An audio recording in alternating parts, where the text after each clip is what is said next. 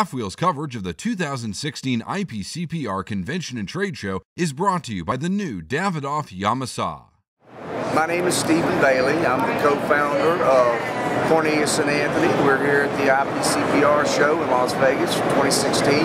We have two new introductions uh, at the show.